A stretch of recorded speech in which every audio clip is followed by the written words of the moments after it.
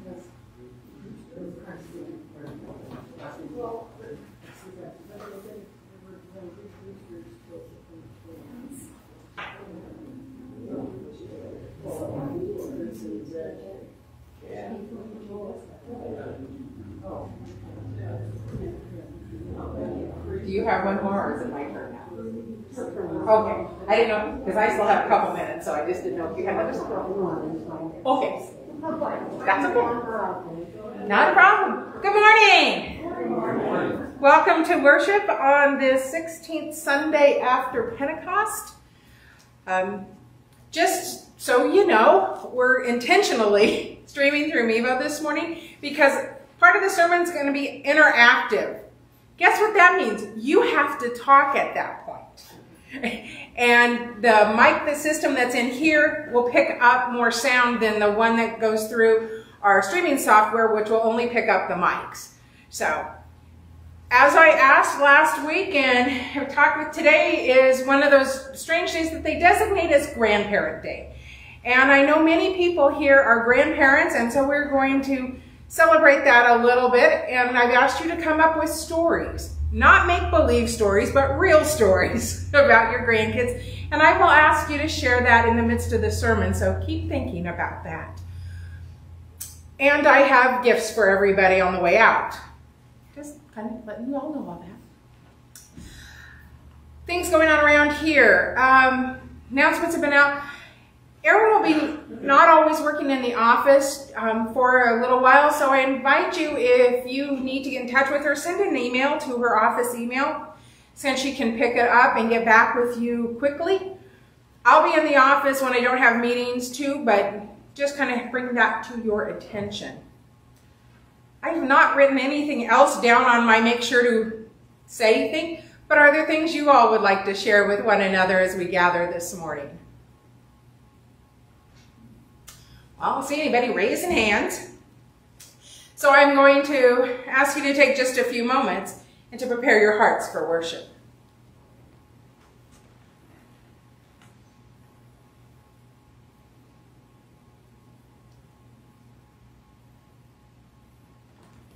I would invite you to stand as you were able and to join me in the confession and forgiveness. Blessed be the Holy Trinity, one God, who teaches, whose teaching is life, whose presence is sure, and whose love is endless. Amen. Let us confess our sins to one who welcomes us with an open heart.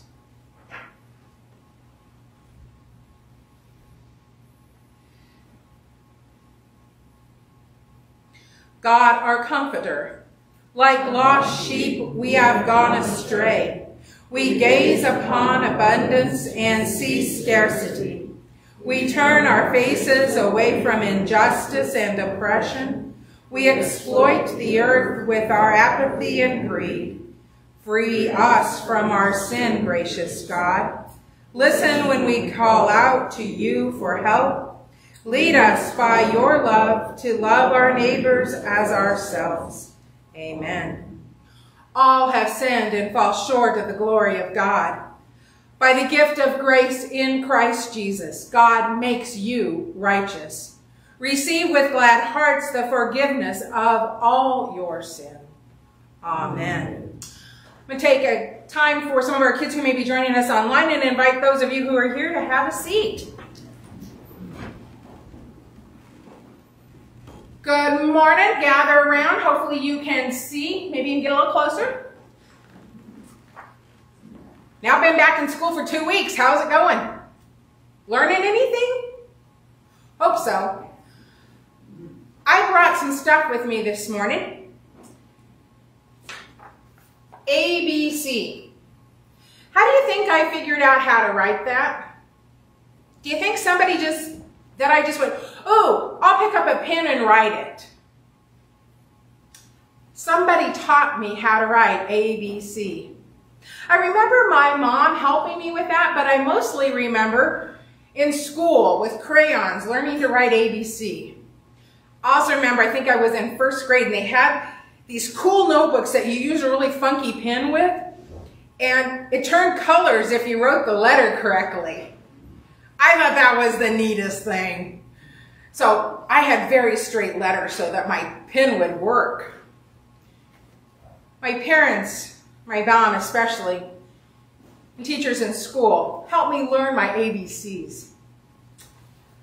A little bit later in life, I went to college and I learned to write different ones. Do you know what that says? Guess what? It's the ABCs, kinda. It's the ABCs in Hebrew. And you know what's even weirder? It doesn't read like this. It reads like this. Aleph, Beit, Gimel, A, B, G in Hebrew. Again, I didn't just learn that out of nowhere. I had a really fun teacher who taught me how to write and read Hebrew. I even learned some fun songs that I can sing in Hebrew. Okay, I won't sing them. I promise. A little while later, when I was in college, I learned my ABCs a different way. Stay. I learned these ones. Funny looking letters again, huh? But again, it's ABCs, or alpha, beta, gamma, ABG, because that's the ABCs in Greek. Had a real staunch teacher who taught me Greek. And that's good because it's a really kind of mm -hmm language. But I've been thinking about all the people who taught me things through the years, especially as we start a new school year, and how they changed my life. Today we're going to read a lesson where Jesus is teaching, and the disciples don't really like what he's teaching them. Do you have a favorite subject? See, I love science and math. Really wasn't quite fond of history. And I was really horrible at art. But they didn't like what Jesus was teaching them. That he was going to suffer and die and rise again. And so they tried not to hear that. But Jesus kept helping them understand those things and what it meant for them. And I thought about Jesus being a teacher and what he teaches us. As he teaches us to love and to trust and to believe in him that he would take all of the things in life that we do that aren't good upon himself and free us from them. So as you experience teachers and you experience all kinds of teachers, and just not the ones you go to school with, your parents are here at church, maybe you play a sport or you dance and you have coaches that help you learn those things, that you remember Jesus, who teaches you about love and grace and that you are special in God's eyes. Let's pray. Jesus, thank you for being that teacher, even when what you're teaching us we don't really like or want to hear. Help us be good teachers for others as we share the things we know with maybe somebody that doesn't know how to do them so that they can grow and especially grow to come and love you. Thank you for people, for teachers of all sorts.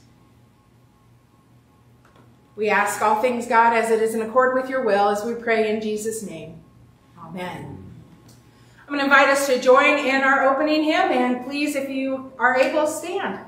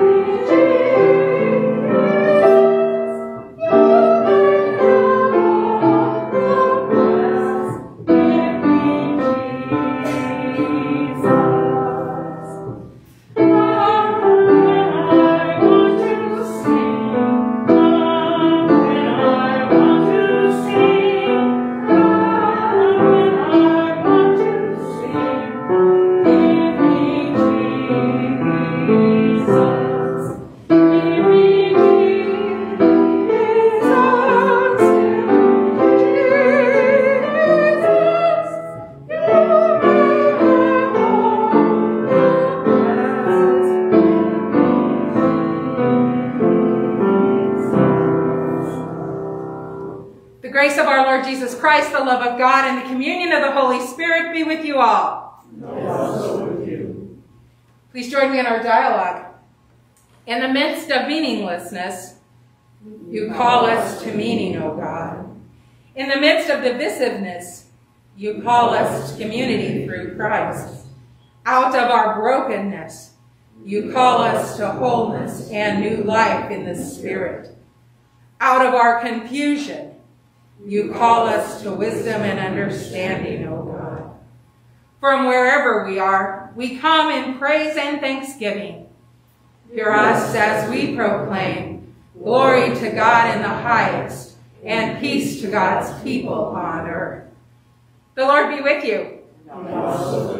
Let us pray. O God, through suffering and rejection, you bring forth your salvation.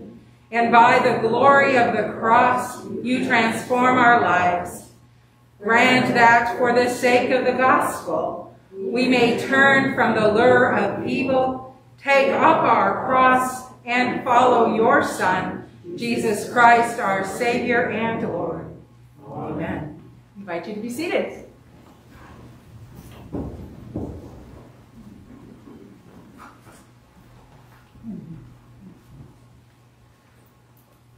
Good morning. Our oh, first reading is from Isaiah chapter 50, verses 4 to 9a. The Lord God has given me the tongue of a teacher that I may know how to sustain the weary with a word. Morning by morning he awakens, wakens my ear to listen as those who are taught. The Lord God has opened my ear, and I was not rebellious. I did not turn backward. I gave my back to those who struck me, and my cheeks to those who pulled out the beard. I did not hide my face from insult and spitting. The Lord God helps me, therefore I have not been disgraced. Therefore I have set my face like flint, and I know that I shall not be put to shame. He who vindicates me is near. Who will contend with me? Let us stand up together. Who are my adversaries? Let them confront me. It is the Lord God who helps me, who will declare me guilty. The word of the Lord. Thanks be to God. Our psalm is 116, verses 1 to 9. I will start with a light print if you will please respond with a bold print. I love the Lord who has heard my voice, and I listen to my supplication and listen to my supplication, for the Lord has given ear to me whenever I call. The cords of death entangled me. The anguish of the grave hung on me. I came to grief and sorrow. When I called upon the name of the Lord, O Lord, I pray you, save my life. Gracious is the Lord and righteous. Our God is full of compassion. The Lord watches over the innocent he was brought low, I was brought low, and God saved me. Turn again to your rest, O my soul, for the Lord has dealt well with you. For you have rescued me, my life from death, my eyes from tears, and my feet from stumbling. I walk in the presence of the Lord in the land of the living. The second reading is from James chapter 3, verses 1 to 12. Not many of you should become teachers, my brothers and sisters, for you know that we who teach will be judged with greater strictness, for all of us make many mistakes. Anyone who makes no mistakes is speaking is perfect, able to keep the whole body in check with a bridle. If we put bits into the mouths of horses to make them obey us, we guide their whole bodies.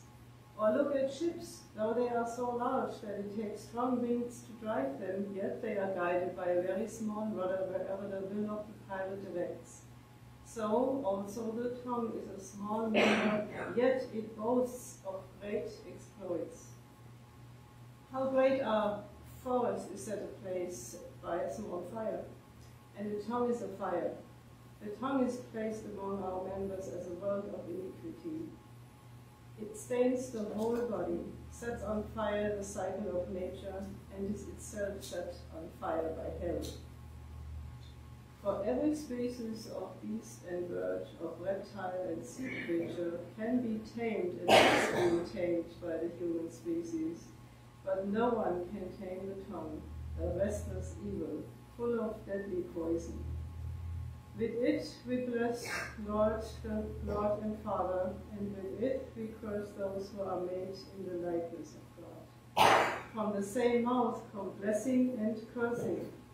My brothers and sisters, this ought not to be so. Does a spring pour forth from the same opening both fresh and brackish water? Can a fig tree, my brothers and sisters, yield olives or a grapevine figs? No more can salt water yield fresh. The word of the Lord. Thanks be to God.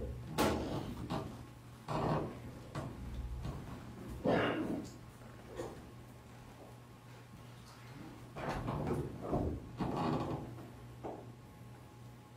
would invite you to stand as you're able for the reading of the Gospel. It is the Holy Gospel according to St. Mark, the eighth chapter. Glory to you, O Lord.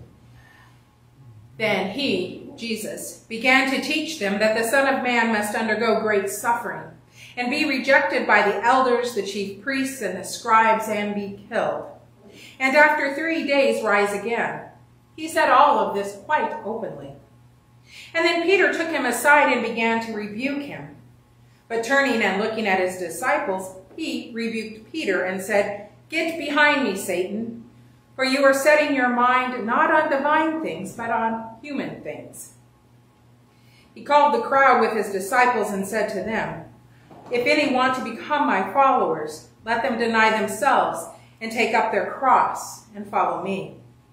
For those who want to save their life will lose it, and those who lose their life for my sake and for the sake of the gospel will save it. For what will it profit them to gain the whole world and forfeit their life? Indeed, what can they give in return for their life? Those who are ashamed of me and my words in this adulterous and sinful generation, of them the Son of Man will also be ashamed when he comes in the glory of his Father with the holy angels. The Gospel of our Lord. Praise, Praise to you, O Christ. I invite you to be seated.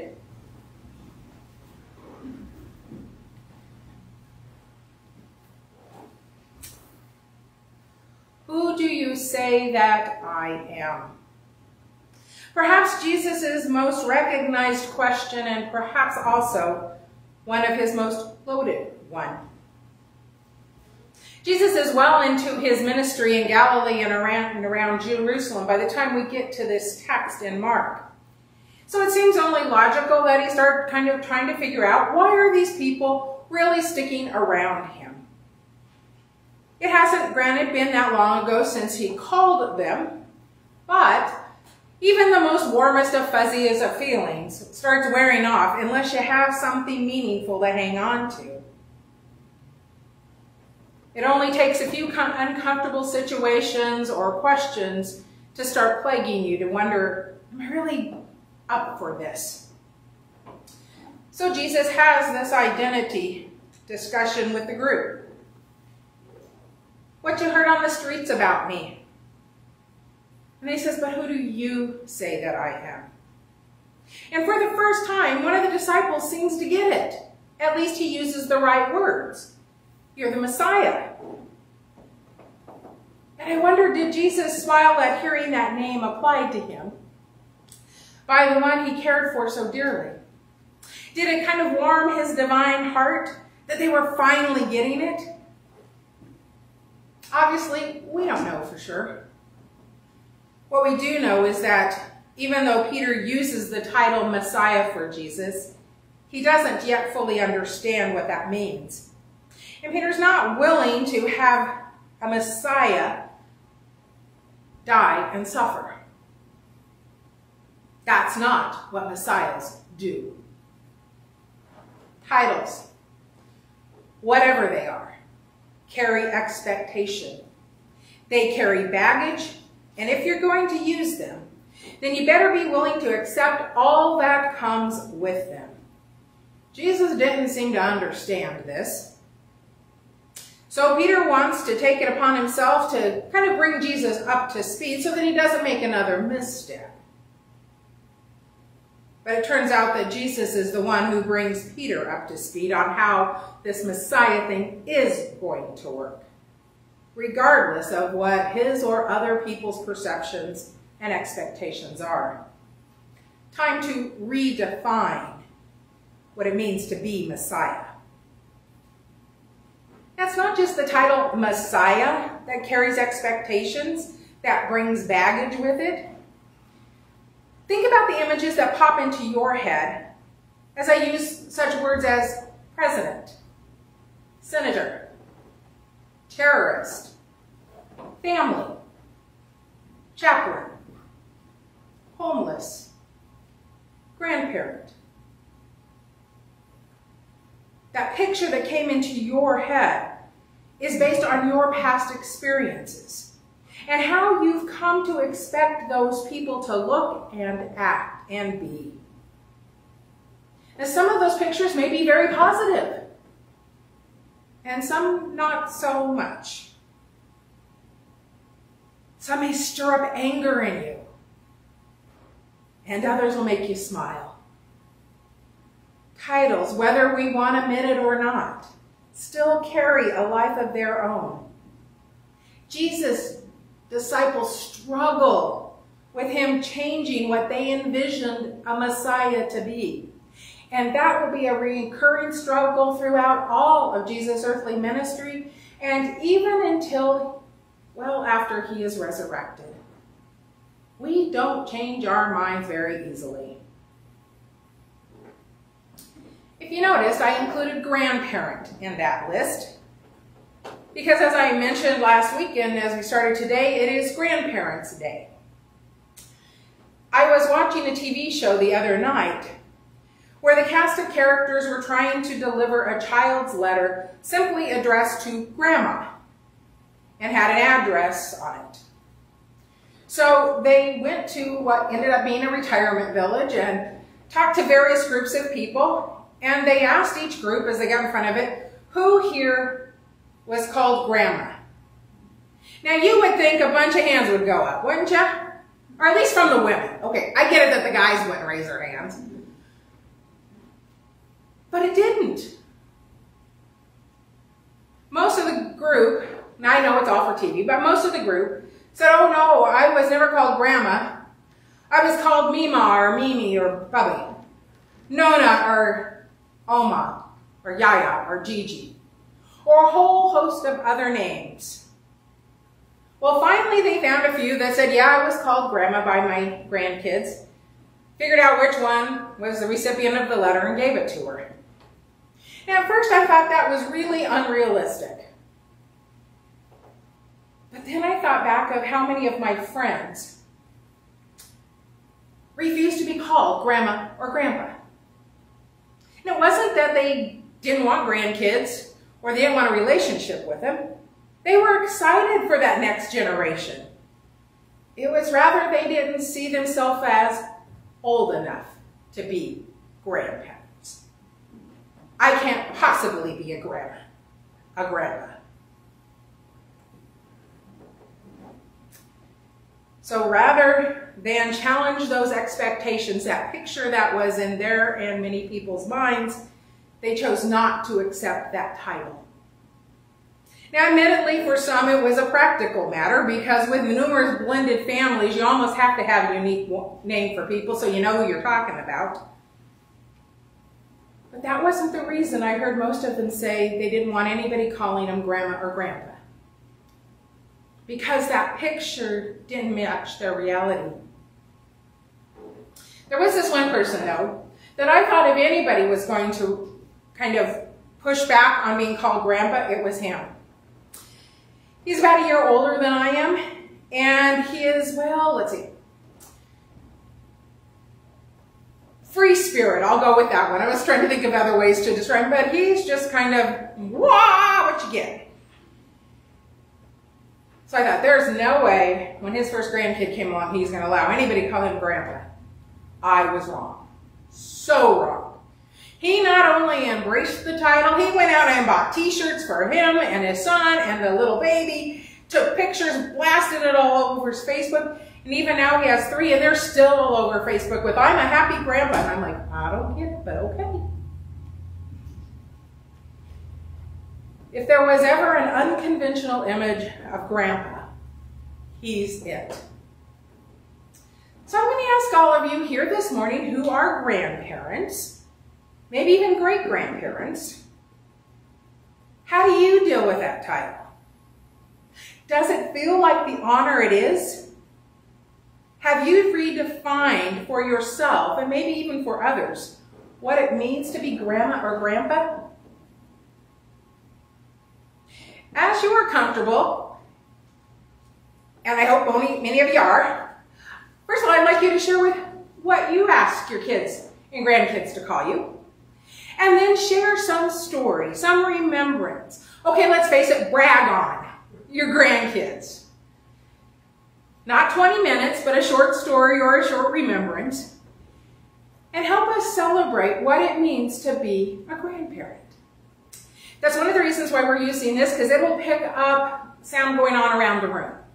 So, I know so many so. You don't have to stand up, you don't have to come to the mic, just tell us.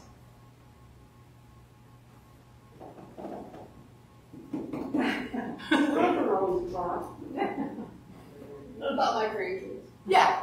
And I'm Graham, and Bob is Baba. They came up with that.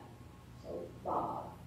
Um, Bob Bob, if you, you know Bob, I mean, he's a kid magnet. So kids run to him, and the grandkids run to him. And Grandma kind of got left in the corner. oh. Anyway, but Keegan came along, who will be 14 this year. Keegan came along, and when she was about three or four, we went to visit. And of course, Juniper ran to Bob Bob. And Keegan just went right by Bob Bob and jumped in my arms, and I said, I rule. I love it.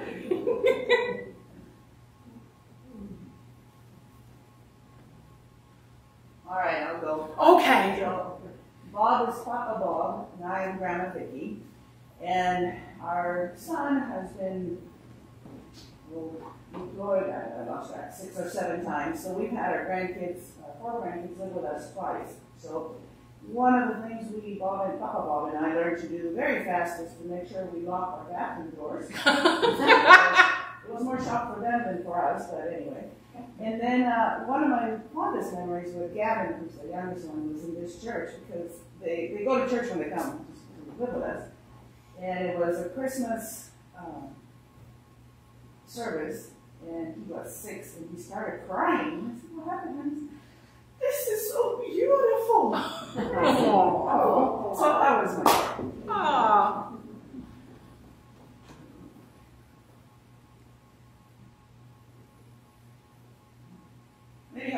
It has to do with Bob's. Yeah, evidently it must be a Bob thing. Alright. I'm Gramps and this is Grim. We have twin grandsons that are 21 and a half months old. We were asked, or we volunteered to babysit for a week, three weeks ago. Mm-hmm. Susan went back to teaching. Jared had to work his day shift at CTEC. In short, Darlene and I learned the meaning of it makes you tired just to watch.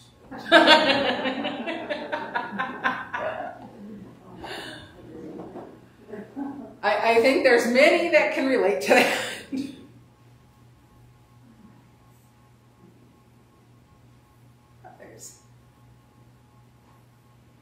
A story I can tell.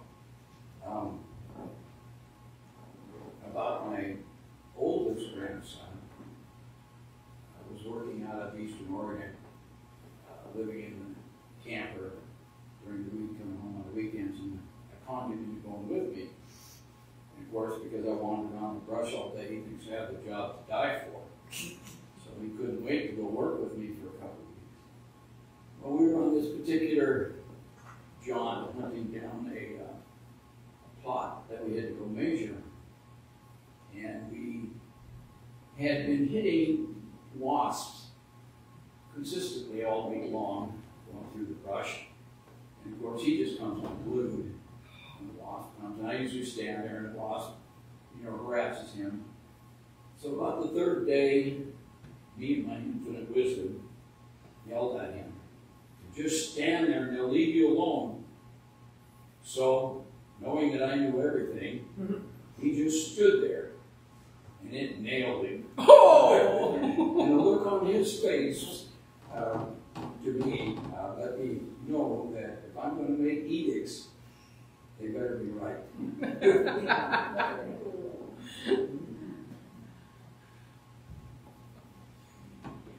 I have four grandkids that live here in Colville, I think you will. They've all been confirmed here at the church. Uh, Carrie is one that sticks out in my mind. She is one that was so much like me growing up, but she learned when she went, graduated and to go to school and look, looking for work. She wanted a job, she didn't have to talk to anybody. So, for the last few years, she's been a checker at Safeway. And she now trains checkers. But also have an oldest granddaughter that I'm out of and out there last year of college. That worked, worked on nights, working days and I'll have a bachelor's degree in criminal justice administration. And twin grandsons too, that are seniors in high school this year, my youngest grandkids. And my two youngest great grandkids are, in Kelly, are four and almost two. And Keegan is the smart one, she don't like to stop with grandma or with mom. So she informed mom, I have family. So I get to stay with the nanny. But we are grandma and grandpa. I always been proud of the fact of being grandma. I never needed to substitute it.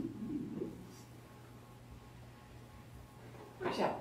Okay, well, we are grandma and pa. And, uh, we have four grandchildren, two boys and two girls. The two boys live on, on the coast in Port Angeles and the two girls live in Spokane.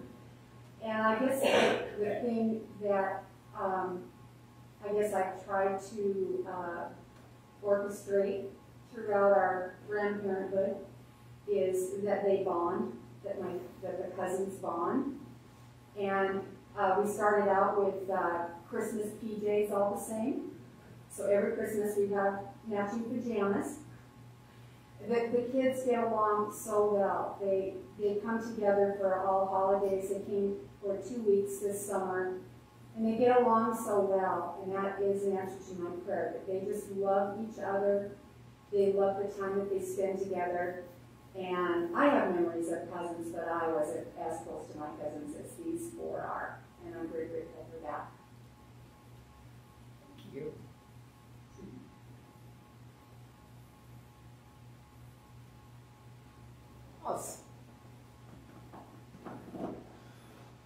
Well, thank you for sharing your stories. They're amazing. They make us laugh. They make us go, aw. And each of you embody being a grandparent in a different way. And you're in great company as you do because it's pure gift. As a disciple of Jesus, you follow one who redefined what it means to be Messiah. And because of that, he changed the world. Jesus would not be that tyrannical overlord they were expecting. But because he wouldn't accept their expectations, he did indeed die, suffer, and was resurrected and changed the world because of that. Through his death and resurrection, Jesus not just freed people from their latest kind of occupation. He freed them from sin, death, and the power of the devil. And he gave them eternal life. And he does that for all of us who have a very special name, child of God. Jesus changed what it meant to be Messiah. So just as we who follow Jesus take up our cross and go out in his name, embrace whatever name it is that your grandkids call you. It is yours. It's a special relationship. And not everyone gets to have that title. You are blessed. Live it out with pride and honor because God has gifted you for just a time as this. As you know, I usually end each sermon with a prayer, and I'm, and I'm going to do that today, but it's going to be a little different because I want to pray for grandparents.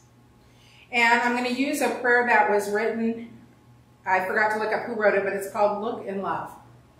And if you're sitting next to or near somebody who is in your household or who is in your bubble or however you want to talk about that, I am going to ask you to lay your hands on one another, grab each other's hands, whatever is comfortable for you as we pray together and pray for grandparents. So let us pray. Look with love on grandparents the world over, Holy God. Protect them they are a source of enrichment for families and for all of society. Support them. As they grow older, may they continue to be for their families strong pillars of gospel faith, guardians of noble domestic ideals, and living treasuries of sound religious tradition. Make them teachers of wisdom and courage, that they may pass on to future generations the fruits of their mature human and spiritual experience. Help families and society to value the presence and roles of grandparents. May they never be ignored or excluded, but always encounter respect and love. Help them to live serenely and to feel welcomed in all the years of life which you give them. Keep them constantly in your care. Accompany them on their earthly pilgrimage. And by your prayers, grant that all families may one day be reunited in our heavenly homeland, where you await all humanity for the great embrace of life without end. We ask it in Jesus' name. Amen.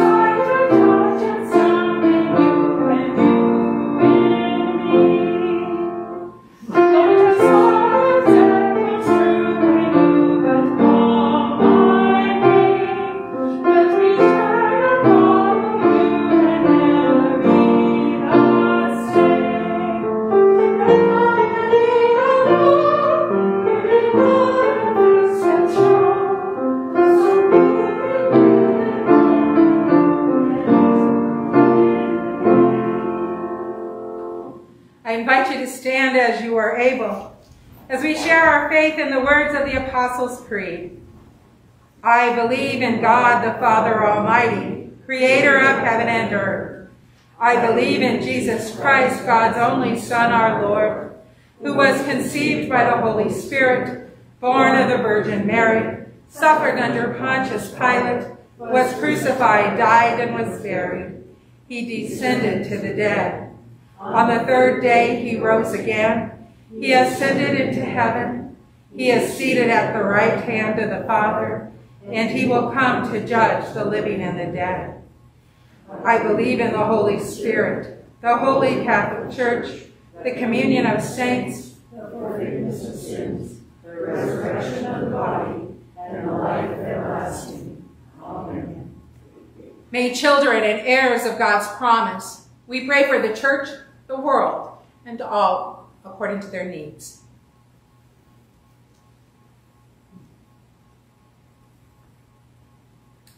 Revealing God, you have made yourself known through bread and wine, water and word. Continue to nurture your church, that we may be a place where your presence is experienced and shared. Lord, in your mercy. Creating God, you brought life into being and called it good. Bring new creation to lands devastated by tornadoes, hurricanes, floods, fires, and other disasters. Restore forests and curb overflowing waters. Lord, in your mercy. Protecting God, you desire all people to live in peace and safety. Provide for all who are in danger. Strengthen first responders to help meet needs in a complex society. And provide care and compassion as they too face trauma. Lord, in your mercy. Hope-filled God, you are with us even in the most challenging of times. As we marked the 20th anniversary of the 9-11 attacks this weekend, our hearts were once again torn open. And yet we experienced your compassion and strength through that. Work through us that we may be instruments of real justice, not retribution, and healing in our ever-growingly divisive world. Lord, in your mercy. Transforming God, you announce release to the captives and freedom to the oppressed. Break chains of discrimination and injustice. Amplify voices that go unheard and inspire us to advocate for those who are often overlooked. Bring your healing presence to those who suffer, whether that's in mind or body or soul. Especially this day we remember in prayer Lad, Jess, Keith, Linda, Aaron, John, Verna, Dave, Jenny, Emo, and all who are on our hearts. Lord, in your mercy. Forming God, you gather this community together. Shape our communal life that in our prayer, praise, and worship, we honor you and encourage one another. Keep our disagreements civil and increase our joy in working together. Lord, in your mercy. Receive these prayers, O God, and those in our hearts known only to you. Through Jesus Christ our Lord. Amen. The peace of Christ be with you always. And also with you. I would invite you to share a sign of peace in a way that is comfortable for you and those around you.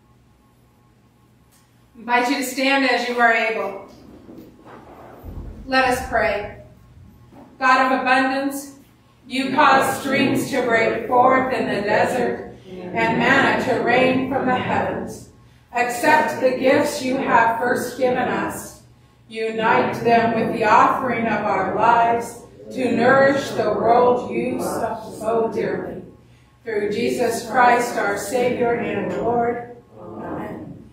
The Lord be with you. Lift up your hearts. Let us give thanks to the Lord our God. Holy, mighty, and merciful Lord, heaven and earth are full of your glory.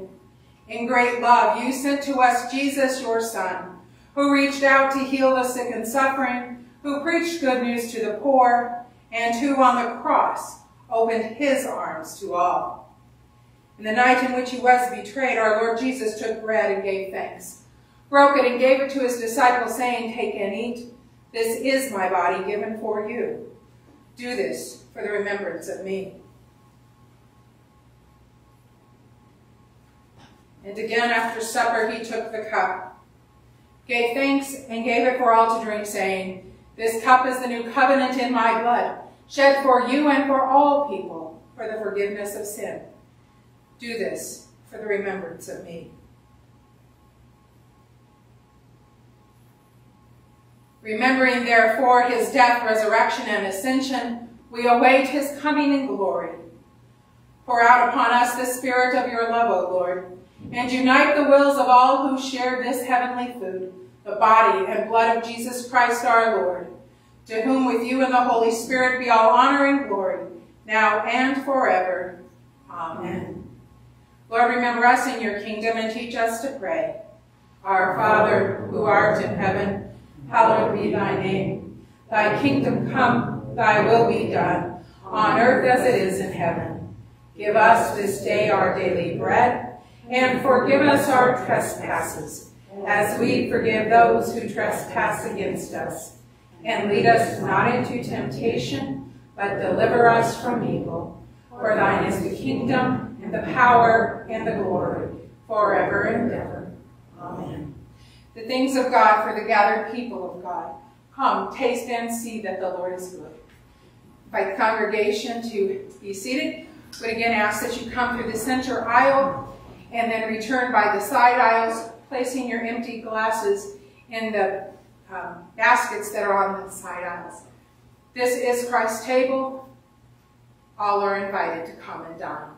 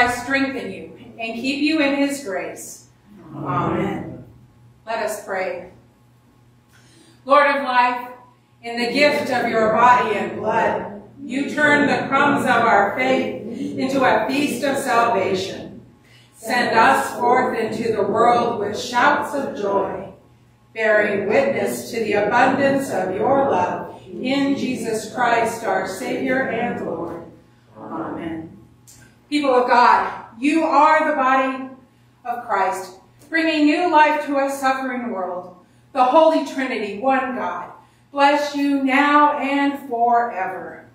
Amen. We sing together our last hymn today, which is Lift High the Cross.